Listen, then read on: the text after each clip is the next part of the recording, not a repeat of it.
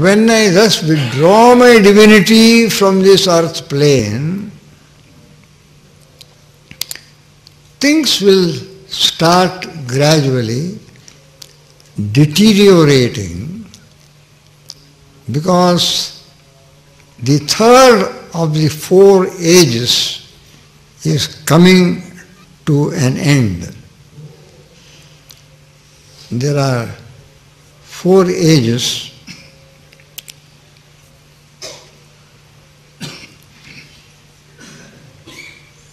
Popularly, they sometimes call it the golden age, the silver age, the copper age, and the iron age, just to indicate the quality.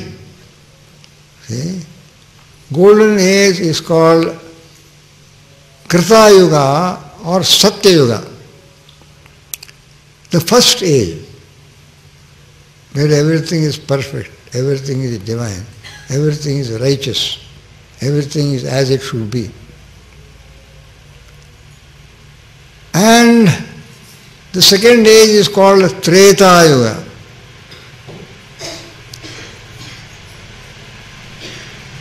In Krita Yuga, the Lord incarnated as the man lion avatar incarnation, Nrisimha avatar.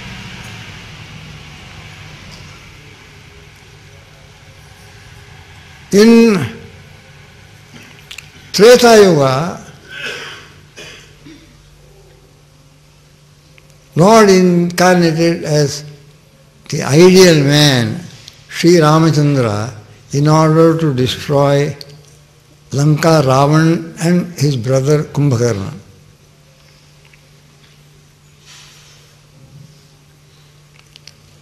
And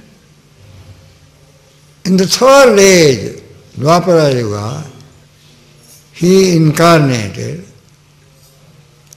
as Lord Krishna in order to slay Shishupala and Dantavakra, two asuric or demonical elements. And in this fourth Kali Yuga, he takes two incarnations, one as the incarnation of Buddha, who was here about more, slightly more than 2500 years ago. When Alexander invaded India, about two thousand three and a half hundred years back. Okay? Two thousand three and a half hundred years back,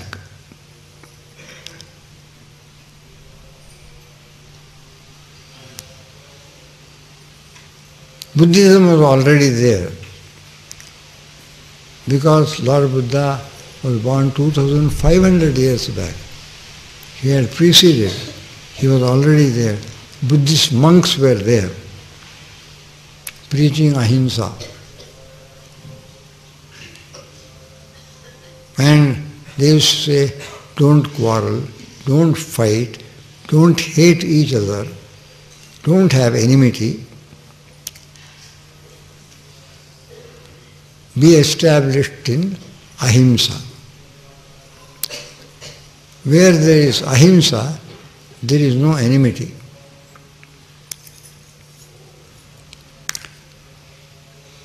There is a sutra to bear this out also. Ahimsa pratishtayam vairat tyagaha. And so, Buddha also is an incarnation of Kali Yuga, and the tenth incarnation is yet to come. Tenth incarnation is yet to come. And strangely enough, there are similar indications within the context, context of Christianity also. They call it the second coming of Christ. In the second coming of Christ, he will not come as a mild, docile, gentle, compassionate, loving master and a spiritual teacher and a guide, friend and philosopher, but he will come as a raging, punitive force, a fiery power to destroy all that is ungodly, all that is satanic. See? He will come with the weapon to completely rid the world of everything that is satanic. As a great warrior who will end all wars. And I don't know what source this word derives from. Armageddon. They call it the Armageddon.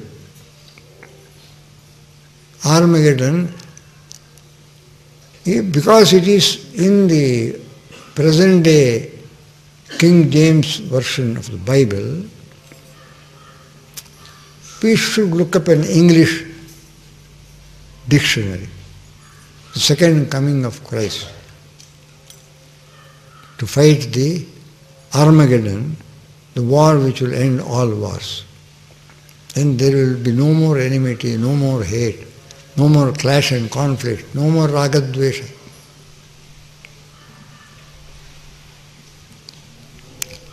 And the popular sub-narrative, as I said, Upakatha, when Lord Krishna decides that my work is over, I am going, he calls his friend Uddhava. This is in the 11th skanda of Srimad Bhagavata Mahapurana and tells Uddhava, O Uddhava, I am now departing, things will become deteriorate. You are a very pure soul.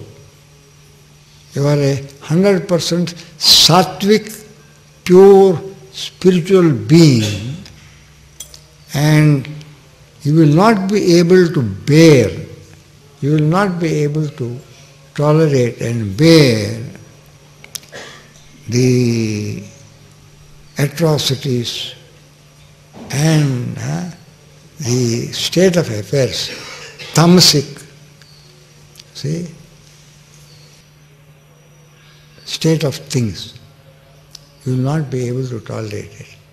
Therefore, you leave this environment. The cities and towns and villages of the men of Kali Yuga, you leave them, go away into the silent solitude of the heights of Himalayas. High up in the Himalayas, in the snowy regions of the north, there is an abode of mine called Badrikashrama.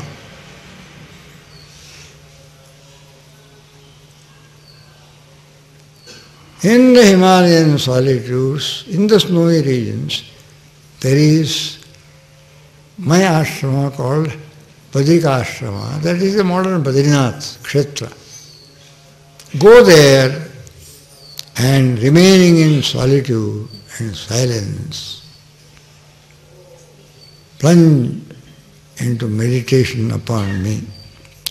Lead a life of sadhana deep meditation, spiritual practices. And at the right time, I shall manifest myself before you in my true form because my incarnated form as Krishna is a limited form, limited form within time and space. But my true nature is beyond time and space, beyond name and form. It cannot be described now.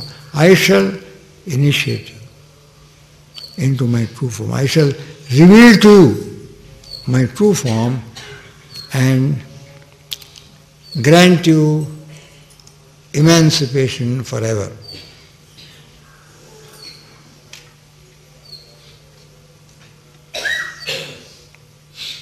Gacchodava mama ashramam. So, before he departs, he makes Uddhava also to depart and go away, leaving this sordid, uh, worldly surroundings to go into the lone Himalayan solitudes and devote himself completely to the contemplation of the Supreme Being.